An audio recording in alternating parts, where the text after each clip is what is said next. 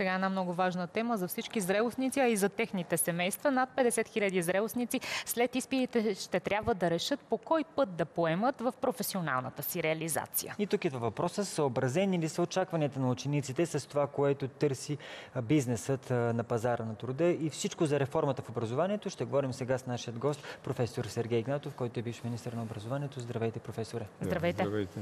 Винаги си задаваме, когато дойде май месец, въпроса, знаете ли децата какво трябва да учат, за да може, когато завършат и минат този цикъл от 4 години, най-често бакалавър, после да имат работа, не да се окаже, че няма нужда от такива специалисти. Ето сега и образователното министерство започна една кампания, нямаме техници, нямаме механици.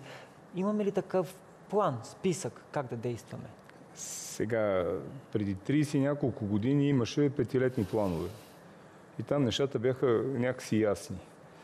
Сега такива планове не съществуват в нашата държава. Слава Богу, живеем в демократично общество. Има други планове, нали, които се изпълняват. Сега всички искат IT и, да стават заради парите. И за това много често плановете и желанията на държавата в лицето на Министерството, включително и на бизнеса, който комуникира добре с, и работи с държавата, се разминават с желанията на зрелостниците. Тъй като е, те живеят в друго време. И, и не винаги ги интересува какво точно иска пазара на труда в дадения момент. Това съвсем различно поколение ние, са. Не само. Общо взето държавата е силна с силни индивиди, силни индивидуалности. Слава Богу, че излязахме от това време, когато имаше унификация и всичко трябваше да бъде по кълъп. Така че имаме разминаване на, на, на, на, на тези желания. Въпросът е, че е, държавата осигурява своето конституционно задължение да, да предостави възможност за образование, за средно и за придобиване на више и след това, който иска да се занимава с наука. От тук нататък се раз, разминават изключително и, много. И в този контекст е, предлагаме ли достатъчно добри възможности на зрелостниците сега да продължат висшето си образование в България, да не отиват в чужбина? И на някой предлагаме. Зависи кой какво търси в този живот. В България в момента много добре се развива IT сектора. И всеки, който иска да получи развитие в тази област, естествено се замисля дали да замине. Есте... Е, ние не, не, предлагаме такива върхове, които те биха постигнали отвъд океана.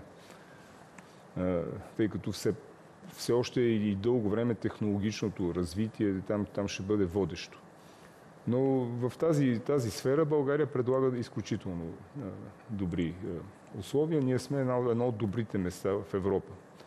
И разни други такива а, области могат да бъдат а, посочени. И има области, които в България правят първи стъпки, не са добре развити, поради което голяма част от нашите зрелостници предпочитат първо да получат образование навън и след това, ако могат да се реализират. Има ли... това няма нищо лошо. Абсолютно нищо лошо няма. Колкото повече българи учат навън, те ще се върнат. Те ще донесат тази култура, това ноу-хау и мисля, че и ще тук се това е важният въпрос, дали ще се върнат. Моля? Тук е важният въпрос, дали ще се върнат Винаги или ще предпочитат да се реализират Въпросът в чужбина. Е колко години е, има между заминаването и връщането, но опита показва, че тези общества, които преди нас са преживяли кризисни моменти и са се обезлюдили за дълго време, след това населението се завръща и с нови сили започват да изграждат една нова страна. Има ли Има тази тежест, примери? професор Игнатов, висшето образование? Защото сега сме в един период все едно, че всеки записва висше образование, колкото да има документа след тези 4 години. А идеята, която беше за безплатното висше образование, тя, тя беше една смешна беше? идея. Аз още в момента, който чух, го обявих навсякъде, където ме поканиха, че е необмислена, популистка и абсолютно... Тя така че не стана факт, но има ли този критерий някой да учи, защото му е интересно, не защото трябва да имам просто дипломата, като един набор от документи, които са Сега, необходими? Ако почна в, в тази в линия да отговарям, ще се получи едно назидателно отговорено за, за дипломата или не. Проблемът е много по... Той е сложен и прост. От 60-те години в цял свят има масовизация на висшето образование. В цял свят.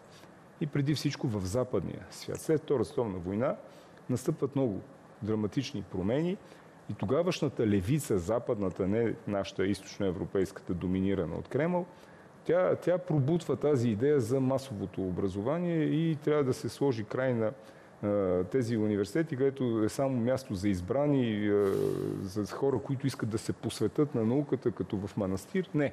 Започва масовото образование.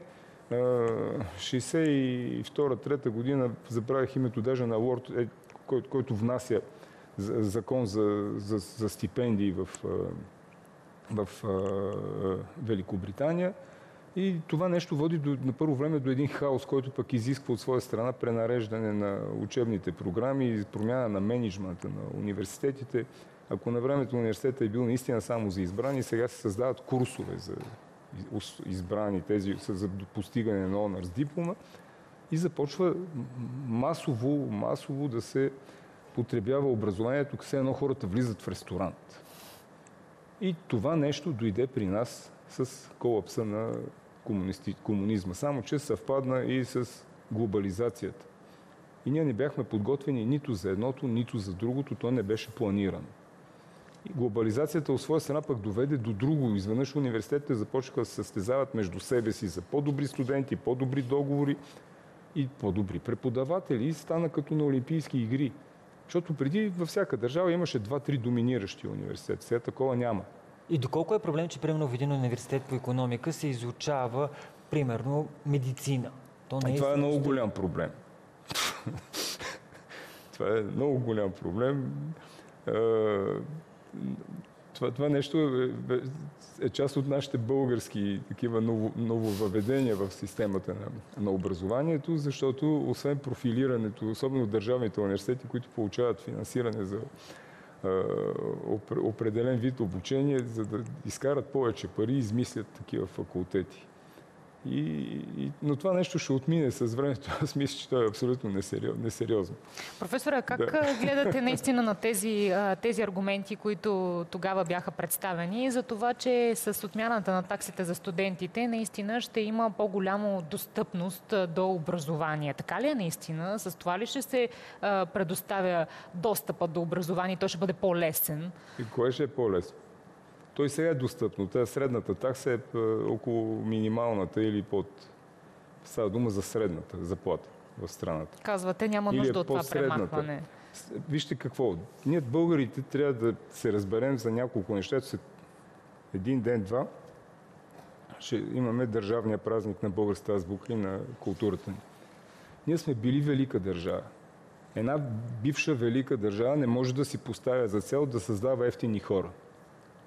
Защото когато образованието е безплатно, това е едно ефтино образование и както то е безплатно за студент, то е безплатно и за преподаватели. И лесният достъп не означава по-качествено образование, нали Освен така? това, да се, нека да се разровим в бюджетите на университетите и да видим какъв процент от а, субсидията, която получават държавата, отива за наука и вие ще видите, че той е минимален.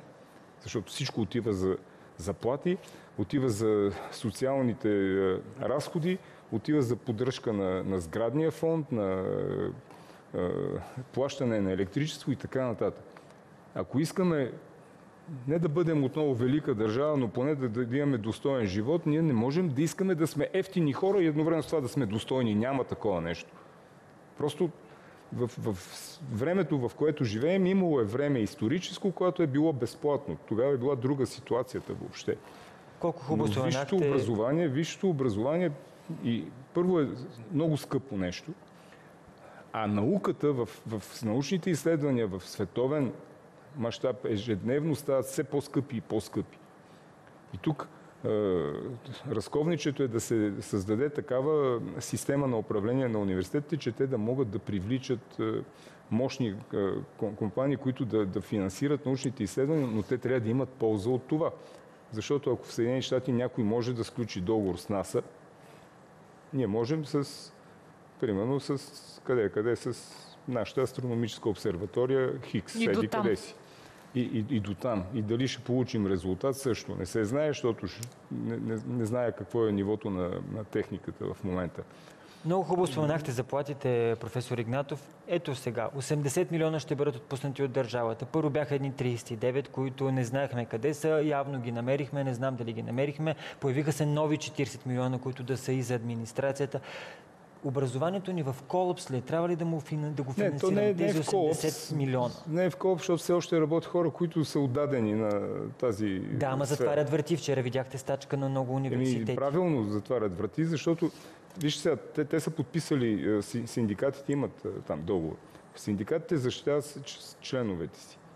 Ректорите защитават университета и по този начин също и преподавателския и административния състав и студентите, които са а, вътре в, а, в университетите. 80 милиона, като чуе просто смъртният българин, звучат много. Аз, вие няма да видим такива пари никога в този и в следващи животи, ако се прераждаме.